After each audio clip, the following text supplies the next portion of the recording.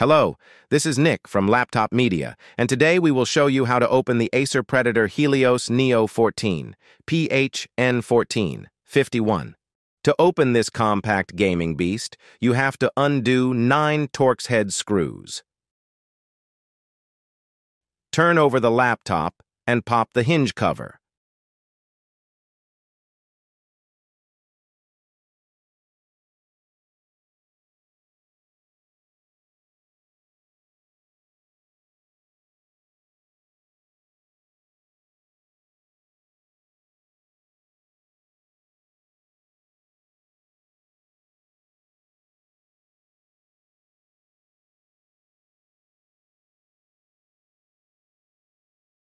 Now, you can pop the rear carefully, step by step, by inserting a thin plastic tool in between the plate and the base.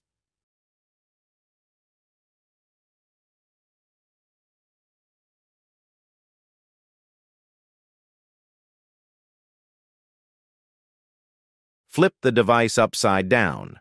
Pry the sides and the front.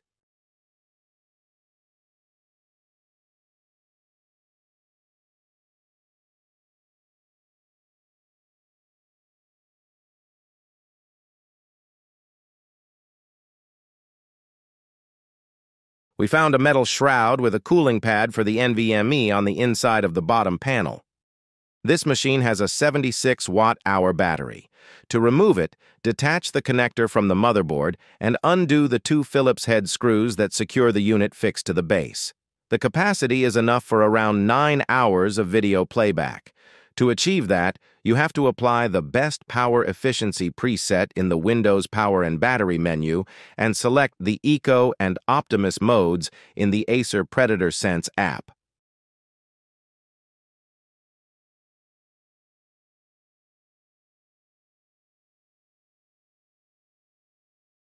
You can rely on 16 or 32 gigabytes of LPDDR5X, 6400 MHz memory in dual channel mode. The Wi-Fi card is positioned below the left fan. For storage, you get just a single M.2 slot compatible with 2280 Gen 4 NVMe drives. Acer claims that the slot is for single-sided SSDs only.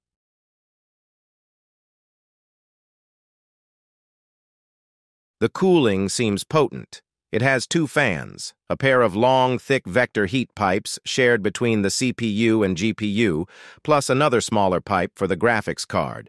The system is complemented by four heat sinks and two big heat spreaders.